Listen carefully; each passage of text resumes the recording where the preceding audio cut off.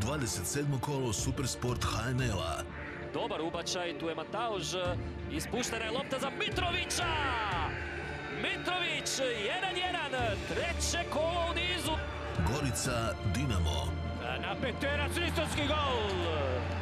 1-0 vodi Dinamo. Stefan Ristovski, njegov četvrti pogodak ove sezone. Subota, 17 sati, samo na Max Sportu.